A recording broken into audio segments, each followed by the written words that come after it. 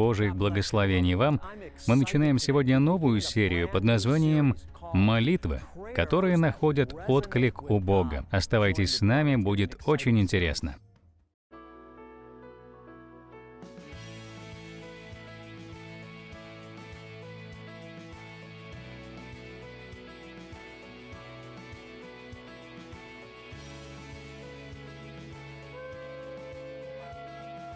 Равин Шнайдер — это голос, взывающий в нашем потерянном мире и направляющий людей к Иисусу. Шалом, я Синтия, жена Равина. Я молюсь о том, чтобы Бог Отец коснулся вас сегодня и благословил во время проповеди и учения Равина Шнайдера. Поддерживая наше служение, вы становитесь партнером Бога в построении Его Царства. Будьте обильно благословенны. Шалом вам, возлюбленные, меня зовут Равин Кёрт Шнайдер. Добро пожаловать на программу «Узнавая еврейского Иисуса».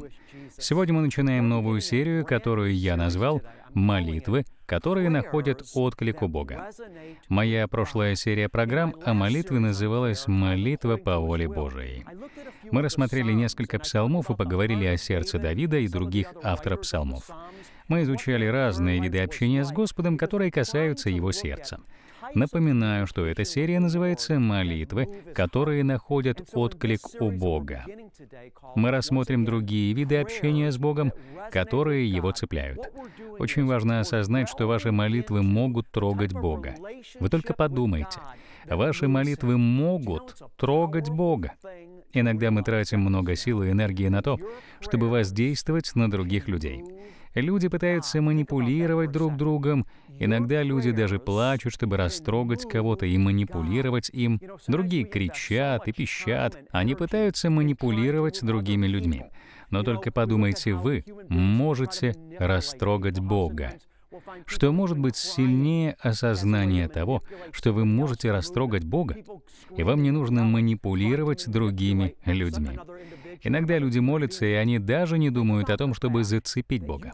Они хотят лишь впечатлить окружающих, которые слушают их молитву. Разве это не глупо?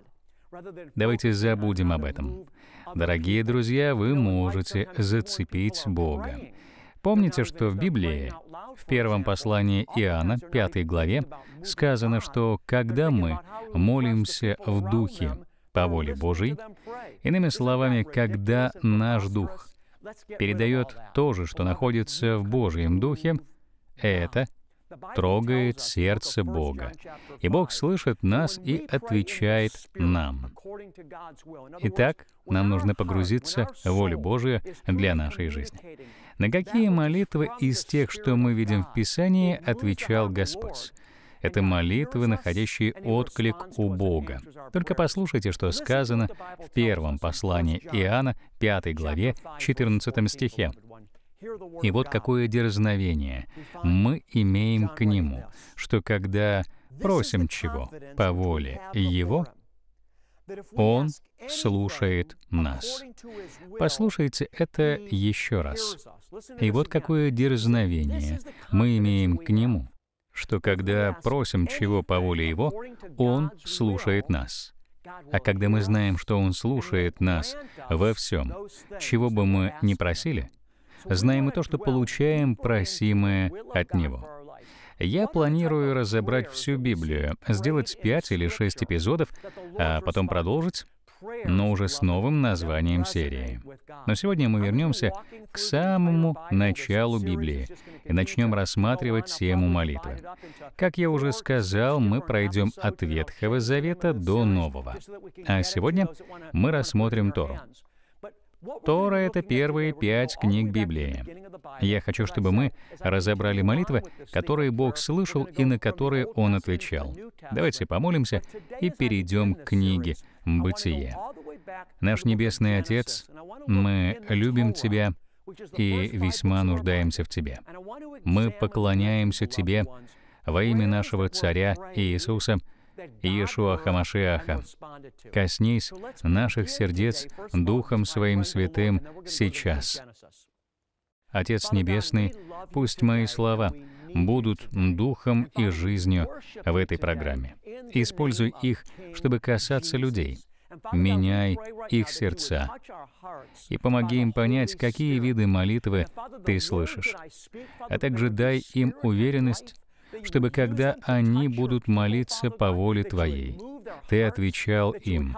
Дай им дерзновение для того, чтобы они понимали и верили, что имеют доступ к Твоему небесному престолу. Пусть они будут уверены, что Ты их слышишь и даешь им то, о чем они просят, во имя Иисуса. Аминь и аминь. Итак, Бытие, 28 глава, с 20 по 22 стих. Затем Иаков дал клятву, сказав, «Если Бог будет со мной и сохранит меня в этом странстве, даст мне хлеба в пищу и одежду на плечи, так что я вернусь и буду жить в мире, в доме моего отца, если Господь будет моим Богом, то этот камень, который я поставил, будет памятным знаком и будет здесь Божьим домом, и от всего, что ты даешь мне, я дам тебе десятую часть. Это молитва Иакова. Давайте рассмотрим ее по частям. Здесь Иаков молится о защите и безопасности, об обеспечении и безопасности. Еще раз послушайте эти слова. Затем Иаков дал клятву, сказав, «Если Бог будет со мной и сохранит меня в этом странстве, Иаков говорит, если ты будешь со мной и сохранишь меня в странстве, то есть ему нужна уверенность в том, что Бог будет с ним и сохранит его.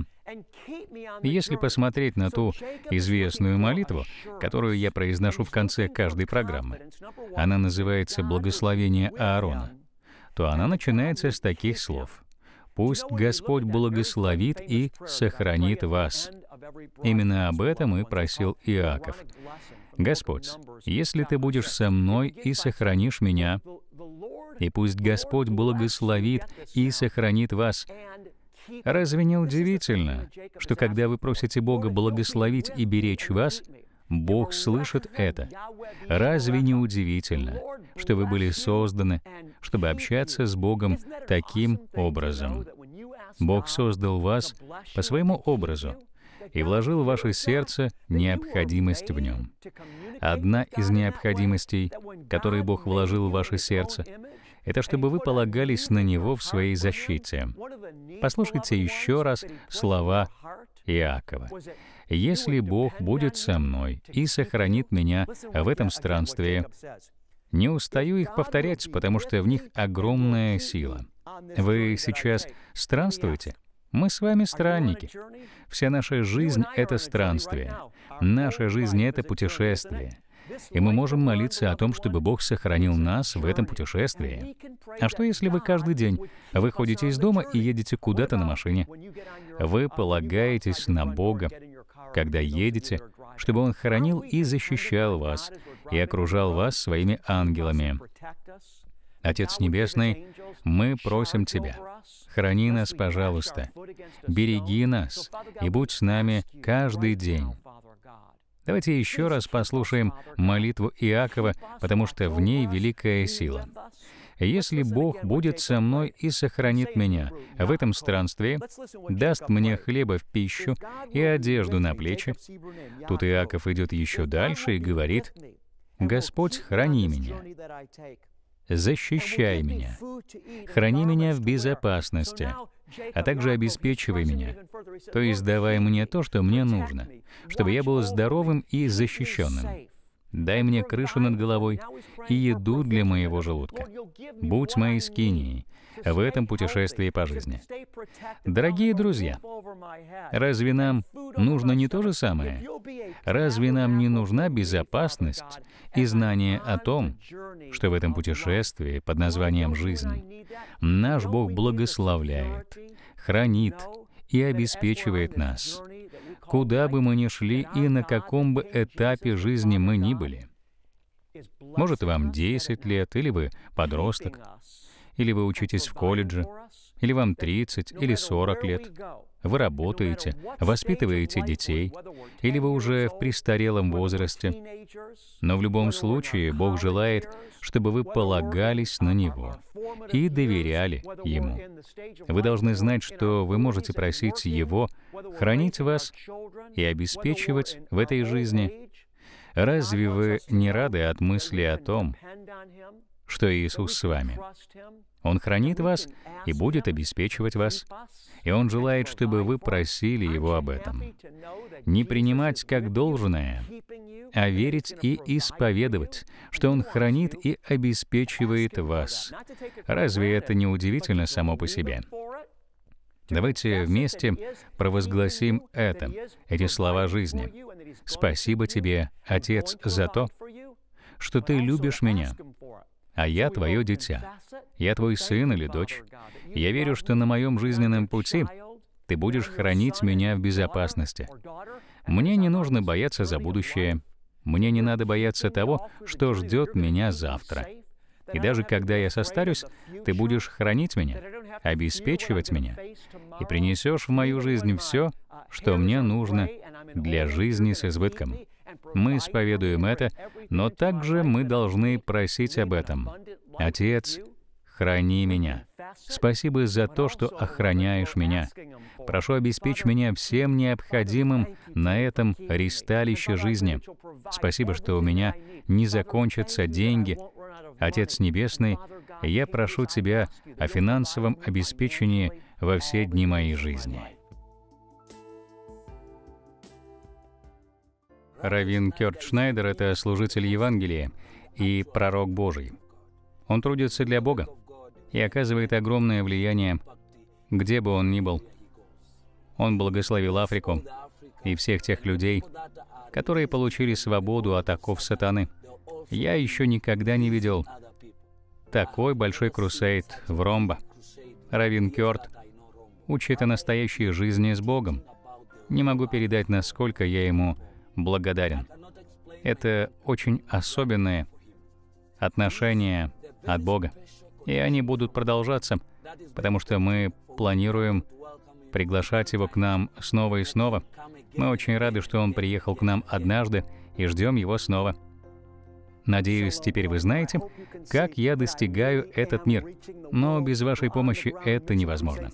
В Библии сказано «благословенны ноги, проповедующих мир и благую весть». Но как они могут это делать, если не будут посланы? Я приглашаю вас стать моим партнером и выслать финансы на достижение новых душ для Господа. Заранее благодарю вас. Пусть Бог обильно благословит вас. Шалом, возлюбленные. Вернемся к нашей программе. Когда вы начинаете просить Бога хранить и обеспечивать вас, то вы должны знать, что вашего Бога интересуют все эти вещи, и Он обязательно исполнит их для вас. Это библейская молитва, и она находит отклик у Бога. Вы можете доверять Ему и полагаться на Него. Вы можете быть уверены, что Он даст вам то, о чем вы просите, и ваши молитвы будут отвечены во имя Иисуса. Давайте продолжим, но перед этим еще раз прочтем этот отрывок. Затем Иаков дал клятву, сказав, «Если Бог будет со мной, и сохранит меня в этом странстве, даст мне хлеба в пищу и одежду на плечи, так что я вернусь и буду жить в мире в доме моего Отца, если Господь будет моим Богом, то этот камень, который я поставил, будет памятным знаком и будет здесь Божьим домом. И от всего, что ты даешь мне, я дам тебе десятую часть. Иаков отправляется в путь и просит Бога, «Храни меня в безопасности». Он делится с Богом своими самыми глубокими нуждами, необходимостью защиты и чувства безопасности. Не знаю, как вы, но когда я был ребенком, то чувствовал себя в безопасности. Когда мы только рождаемся в этот мир — то думаем, что все будет хорошо. Я понимаю, что некоторые из вас выросли в сложных условиях, но слава Богу, у Бога всегда больше, чем достаточно. Но когда мы только рождаемся в этот мир, мы чувствуем себя в безопасности. Нам кажется, что у родителей есть все ответы. Мы выросли в окружении, которое казалось нам безопасным. И я в детстве, как и многие из вас, чувствовал себя в полной безопасности. Я не боялся всего того, о чем знаю сегодня. Мои родители всегда брали меня с собой на праздники, мы много путешествовали, и они всегда играли со мной. Я чувствовал себя в безопасности. В одном из псалмов Давид писал, что его душа успокоилась как ребенок на коленях у матери. Он также говорил о том, что он вернул себе это чувство безопасности благодаря отношениям с Богом. И он стал чувствовать себя так же защищенно и безопасно, как в раннем детстве на руках у мамы. А вы знали, что в Боге для нас есть еще более безопасная среда, чем среда, в которой мы находились в раннем детстве?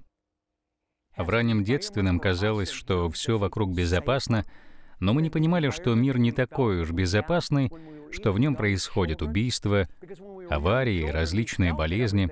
Мы чувствовали себя в безопасности, потому что родители защитили нас от всего этого. Но на самом деле мир был не таким уж и безопасным. Но Бог говорит нам, теперь, когда вы уже стали старше и осознали, что без меня этот мир — опасное место, я хочу, чтобы вы знали, что во мне вы найдете эту безопасность. Давид сказал, «Даже если я пойду долиной смертной тени, твой жезл и твой посох утешают меня. Я рекомендую вам приносить Богу свои глубочайшие нужды. Я уверен, что одна из ваших глубочайших нужд — это чувство защищенности и безопасности. Именно об этом Иаков и молился в книге «Бытие». «Господь, если Ты будешь охранять и защищать, а также обеспечивать меня. Я знаю, что сейчас нас смотрят вдовы и вдовцы, а также много пожилых людей. И вам кажется, что вы уязвимы и не уверены в завтрашнем дне. Вы боитесь заболеть или упасть где-то, и никто не узнает об этом. Вы боитесь выезжать куда-то одни. Вы боитесь оказаться в доме престарелых. А вы боитесь остаться без денег. Но я хочу, чтобы вы знали, что Бог любит вас. И как Он отвечал Иакову, так Он будет отвечать и на ваши молитвы. Я хочу помолиться с вами о том, чтобы Бог охранял вас и вел вас по жизни в безопасности. И Он обеспечит вас всем, что может понадобиться вам на пути, потому что Он — Бог света, и от Него приходит всякий совершенный дар. Мы не должны бояться, но твердо довериться Ему. Иисус сказал, «Если Бог знает, как позаботиться о воробьях, если Он одевает полевые лилии шикарнее, чем Соломона, то насколько лучше Он будет заботиться о своих детях. Не переживайте ни о чем. Бог обо всем позаботится. Да и более того, Он уже позаботился обо всем. Он знает все, что нам нужно. Он любит вас так сильно, что вы даже не можете себе этого представить. Он ближе к вам, чем вы сами. Он ближе к вам, чем ваше собственное сердце или дыхание. Он ближе к вам, чем ваше самое сокровенное желание. Он знает вашу следующую мысль. Он любит вас и будет заботиться о вас, поэтому не переживайте никогда и ни о чем. В Его руках вы в безопасности. Давайте помолимся. Я закрою глаза. Отец Небесный, мы любим Тебя. Я благодарю Тебя за Твою заботу о Твоих детях. Я провозглашаю мир для всех Твоих детей а особенно для пожилых, матерей-одиночек и неуверенных в себе мужчин. Я молюсь о Твоем совершенном шаломе. Мы провозглашаем, что Ты верный Бог. Ты никогда не оставишь нас и будешь с нами до самого конца. Ты знаешь, что нам нужна крыша над головой. Ты знаешь обо всем, в чем мы нуждаемся. Библия говорит, что все, в чем мы нуждаемся, все это дает нам Твоя рука. Твоя верность при этом велика. Я провозглашаю благоволение и уверенность для всех Твоих детей, которые слушают меня сейчас. Ты верный. Ты покроешь все их нужды, как ты сделал это для Иакова, когда он просил тебя об этом. Ты будешь хранить их на жизненном пути. Я верю, что ты доведешь каждого, кто слушает меня сейчас, в безопасности до конца их жизненного пути. Когда они сделают свой последний вздох, твои руки будут обнимать их, и ты примешь их в свое вечное царство, в место, которое Иисус приготовил для них навеки. Отец, спасибо за то, что Ты хранишь и продолжишь хранить всех своих детей. Ты хранишь их в безопасности. Я прошу о Твоем шаломе, который будет окружать их как пузырь. Дай им внутреннюю уверенность и знание о том, что Ты защищаешь и оберегаешь их. Спасибо Тебе во имя Иисуса. Я также выступаю сейчас против духа гордости, который охватил некоторых из наших телезрителей. Я связываю всех духов гордости. Если вы думаете, что вы самодостаточны и что сможете справиться в этой жизни без Бога, то вы должны знать, что это ложь. Когда вы умрете, вы никак не сможете контролировать то, что с вами происходит. И вы также не контролируете свою жизнь сейчас. Если вы чувствуете подобную гордость и враждебность в своем сердце, то знайте, что это проявление сатаны. Вы прямо сейчас можете избавиться от этого демона в вашем сердце. Опуститесь на колени и попросите Бога во имя Иисуса простить вам вашу гордость и освободить вас от нее. Вы можете покаяться в этом грехе и обратиться к Богу с такими словами. «Иисус, прости меня. Я нуждаюсь в Тебе. Войди в мою жизнь. Дай мне познать Тебя и Твою милость». Спасибо за то, что были с нами сегодня. В следующих программах мы продолжим погружаться в Писание и говорить о тех молитвах, которые находят отклик у Бога. Мы рассмотрим молитвы патриархов, пророков и других людей, которые ходили с Богом. Мы изучим те молитвы, на которые они получали ответ от Бога. Благодаря этим знаниям вы сможете молиться уверенно, зная, что когда вы молитесь по воле Его, Он слышит вас и дает вам все просимое. Об этом постоянно говорится в Библии. «Просите, и дано будет вам. Стучите, и отворят вам». Бог любит вас, Иисус любит вас, и я тоже. Спасибо за то, что смотрели нас. Шалом!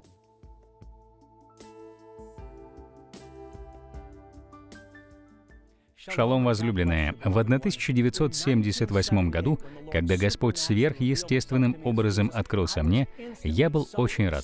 Я начал всем рассказывать об Иисусе. Я буквально поглощал Слово Божие.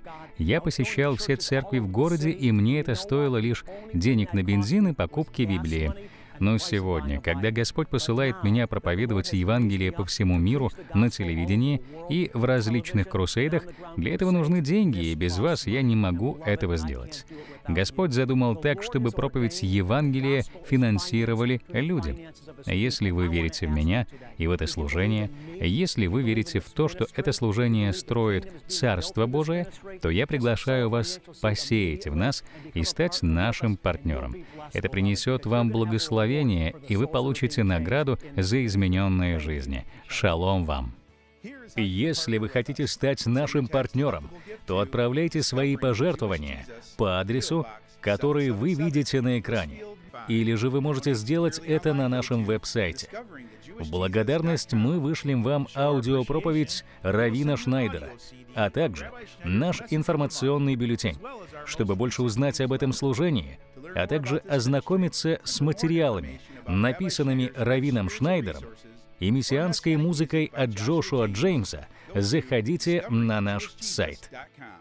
Мы рады, что вы смотрели нас сегодня, и мы хотим помолиться за вас. Присылайте нам свои молитвенные просьбы по почте или посетив наш веб-сайт. Мы также хотим поблагодарить вас за вашу финансовую поддержку. Поддерживая наше служение, вы становитесь партнером Бога в построении Его Царства. Пишу, чтобы поблагодарить вас за ваше служение. Вы стали важным звеном в цепи, которая привела к принятию мной Христа как Спасителя — Сегодня я ваш постоянный зритель и ежемесячный партнер. Благословляю вас и ваше служение.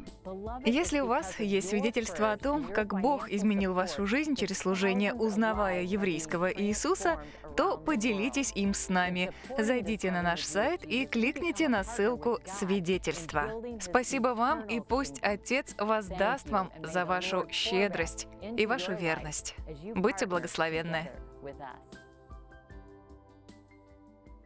А в завершении программы я хотел бы произнести Божие благословение в вашу жизнь. В шестой главе книги «Числа» Бог сказал Моисею и Аарону, «Произносите это благословение на мой народ, и тогда мое имя будет на них. Поэтому я призываю вас поднять руки и принимать благословение Бога Отца в вашу жизнь. Давайте молиться вместе. Yavarecheche Yahweh Vayishmarecha Ya'er Yahweh panavelecha Vihunecha Yisa Yahweh panavelecha פניו אליך והשם לך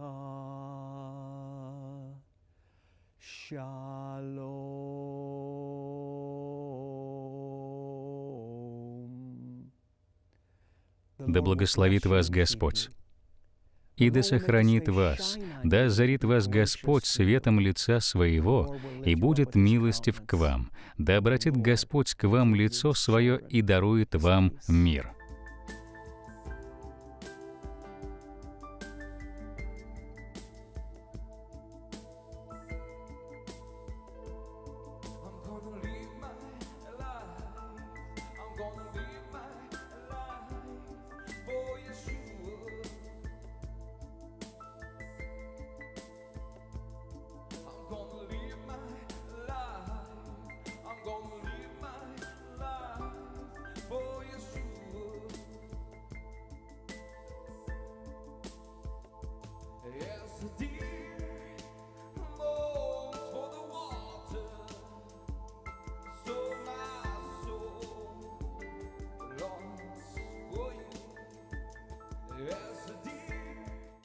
Телевизионная программа Равина Шнайдера «Узнавая еврейского Иисуса» теперь доступна на русском языке на Ютубе. Равин является евреем, верующим в Мессию Иисуса. Вы получите откровение сегодня для вашего лучшего завтра. Заходите на Ютуб сегодня и посетите «Узнавая еврейского Иисуса».